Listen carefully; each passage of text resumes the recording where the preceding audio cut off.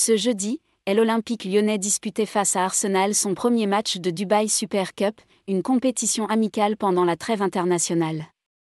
Un test particulièrement relevé pour les hommes de Laurent Blanc qui se sont inclinés sur le score de 3,0. La soirée s'est d'ailleurs achevée sur une séance de tir au but remportée par les Gunners 2,1 et où Ryan Cherky n'est pas passé inaperçu. Le jeune attaquant a tenté une panenka totalement loupée qui n'a pas du tout inquiété le gardien estonien Karl Jacobin. Et à en croire les informations du progrès, le manque de conviction de Cherki au moment de tirer serait aussi très mal passé en interne Auprès de plusieurs coéquipiers et du staff.